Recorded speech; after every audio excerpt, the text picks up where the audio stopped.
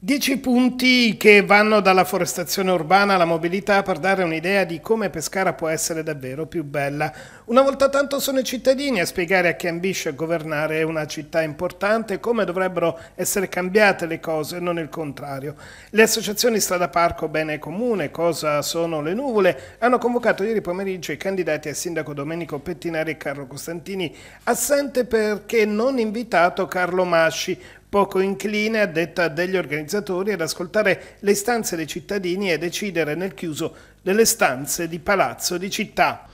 Uh, il fatto di governare nel chiuso del palazzo senza sentire e ascoltare i cittadini è sicuramente un uh, elemento negativo di questa amministrazione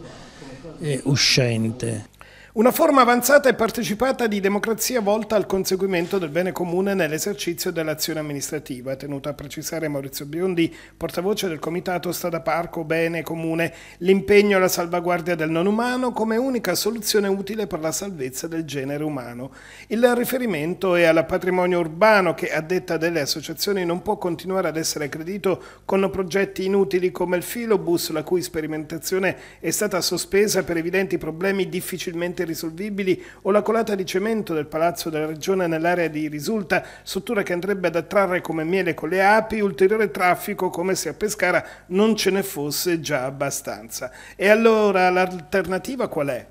Noi pensiamo, noi abbiamo proposto diciamo così, a questi candidati sindaci di eh, realizzare una sorta di spina dorsale verde della città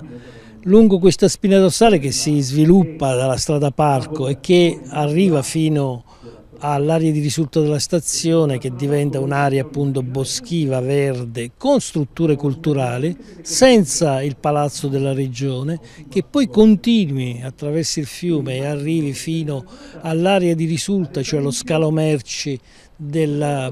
della ferrovia che può diventare anch'esso una uh, riserva di verde e, e arrivi fino alla pineta d'Avalos. Una relazione che contiene degli spunti che in prospettiva rappresentano rappresenterebbero una svolta per Pescara e che larghissima parte saranno recepiti nel programma che stiamo perfezionando e definendo nella sua stesura definitiva. La questione ambientale è stata messa al centro, il processo di forestazione delle città che è fondamentale per contribuire alla lotta ai cambiamenti climatici è stata messa al centro e dal mio punto di vista rappresenta un aspetto fondamentale di qualsiasi persona voglia cimentarsi con l'amministrazione di una città così complessa come la città di Pescara. Quasi il 90 90% del nostro programma elaborato eh, raccoglie già queste istanze, che sono istanze che parlano di ambiente, che parlano di una nuova pianificazione nella nostra città, che parla di condivisione, programma che parla davvero di riformulare la nostra città, ripensarla